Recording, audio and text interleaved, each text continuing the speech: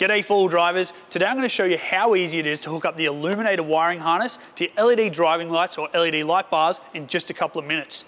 Now if you've got a negatively switched vehicle like a new Toyota Hilux or Land Cruiser, then stick around because at the end I'm going to show you how you can make this work for your vehicle really easily. Now step one, we're going to put this down and check out what's in the box. So inside you'll find the whole harness bundled up and ready to go, plus you've got two piggyback connectors which will suit a H4 or HB3 style plug, as well as a spare relay which you can chuck in the shed or the glove box. Now once you've unpacked everything, it's time to check which of these headlight adapters will suit your vehicle. So on this GU Patrol, we've got the H4 style plug, which means we can hang on to this one and head back to the wiring harness. Your next step is to sort out where you're going to run your wiring. It's best to keep it neat and out of the way of any moving parts or hot areas like your exhaust manifold, turbo or engine block. Now once you've laid out your wiring, pull out your fuse and you're ready to start. First we'll hook up the negative wire, that's the black one, to the negative terminal of the battery. Don't just put it anywhere, make it look neat and tuck it out of harm's way, then make sure it's solid and not going to vibrate loose. You don't want wires to loosen and fall off when you're relying on your lights on a dark track or worse, short out and spark. Even if you've removed the fuse, you can leave the red positive wire disconnected for the moment, but just make sure you've left enough length to reach that positive battery terminal. Now run these wires to a suitable place to mount the relay. This little fella is your relay and it should always be mounted upright and out of the way of mud and water if you can help it. I'm going to mount it up high on the inside of the guard here using an existing bolt. So I've just quickly unscrewed this bolt, I've whacked the relay in, now I'm going to tighten it up nice and tight so again it doesn't vibrate loose. Now coming from your relay, you're gonna have three main wiring runs. And first up, we're gonna grab the one which has the two male Deutsch plugs, which will suit each of your LED driving lights. If you have a harness to suit an LED light bar, it'll just have the one plug. At 4WD Supacentre, our entire range of light bars and driving lights are already fitted with a female Deutsch plug. So you could even connect two light bars to a driving light harness if you wanted. So the next wire you're gonna grab from your relay is this one with the white plug, now you're gonna connect that headlight adapter that you identified before straight in like that.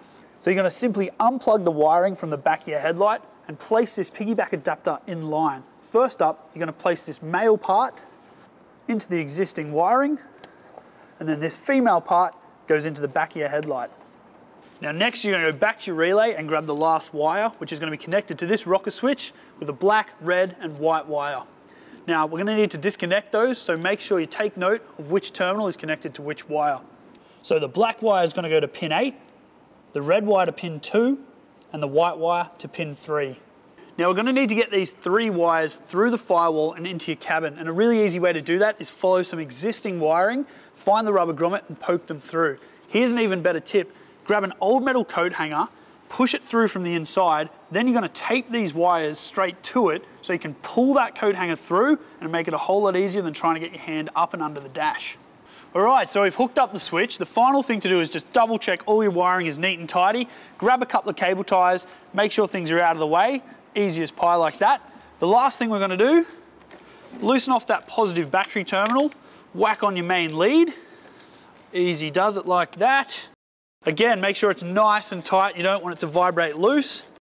Now, as an example, we're going to hook up one of these 9-inch round Illuminator driving lights and see how our handiwork pans out. Righto, so that fuse is back in. That means everything's connected. I'm going to lean in, turn them on. How good is that? Super easy. Now, if you're still not getting any light after hooking everything up, double check all your connections if still nothing, you might have a negatively switched vehicle. If that's the case, what we're gonna do is pull out that fuse first of all, just to be safe.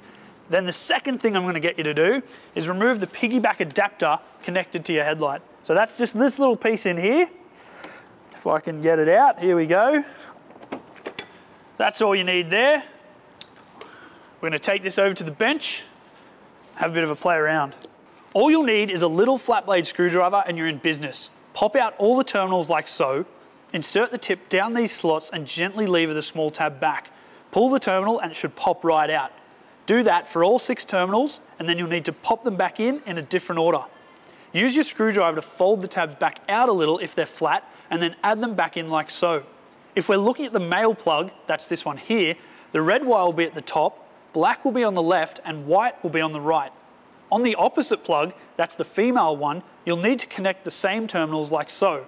Red will be at the top and black and white should stay on the same sides. Don't cross them over, just like this. Once that's done, you're ready to pop it back onto your vehicle, add the fuse back in and give it a go.